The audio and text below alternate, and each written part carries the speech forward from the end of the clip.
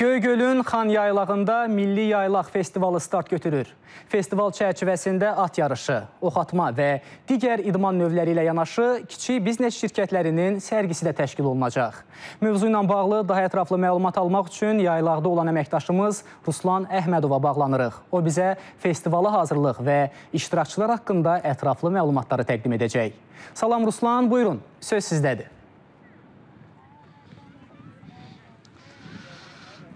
Salam Murad. Sizin də qeyd etdiyiniz kimi bu gün diqqət e, diqqətlər Göygöldə Xan yaylağındadır. Bu gün 3-cü yaylaq festivalı, Milli Yaylaq Festivalı start götürür. Bir neçə saatdan sonra başlayacaq festival 30 e, ölkələrin iştirakı ilə e, yüzlərlə iştirakçının eyni zamanda həm ölkə xaricindən, həm də ölkəmizin dörd tərəfindən, rayon və şəhərlərdən gəlmiş qonaqların iştirakı ilə başlayacaq. Hazırda hazırlıq işləri yekunlaşmaq üzrədir və demək olar ki, tam festival öz işinə başlamaq üzrədir. E, onu da qeyd edim ki, dayandığım bu ərazi etno e, qəsəbədir və burada e, demək olar ki, bütün güşələr bizim milli ənənələrimizi və tariximizi əks etdirir. Ətraf ərazilərdə, meşə sahələrində eyni zamanda kamplar quraşdırılıb və insanlar burada gecələyə bilir, qala bilir, dincələ bilir. Eyni zamanda alaçıqlar var ki, burada milli oyunlar sərgilənir. Onu da qeyd edim ki, festival şərti olaraq 3 hissədən ibarətdir mədəni etnoqrafik hissə, e, yaylaq oyunları, idman oyunları, eyni zamanda eko-etnoturizm.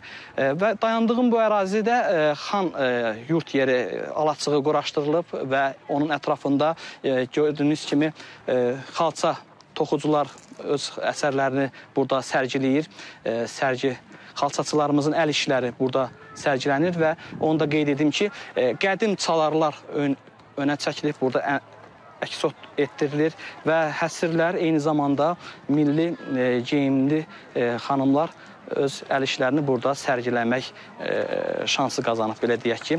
Eyni zamanda ətrafda paraşütçülər də var. Onlar həmin burada insanların seyr etdirməsini saxlayır. İndi biz alaçıqların birinə keçək. Burada Xan yurt yeri adlanır və bu alaçığın içərisi özünün unikallığı ilə diqqət çəkir.